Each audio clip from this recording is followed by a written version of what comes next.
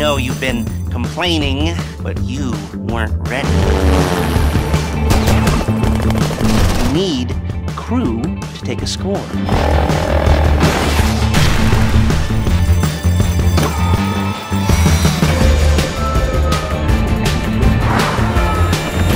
All right, first thing's a plane. Then we got a bus.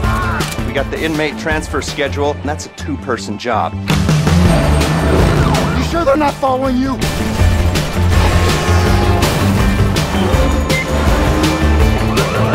It's gonna require a little bit of finesse. Simple. Should be the easiest money you'll ever make.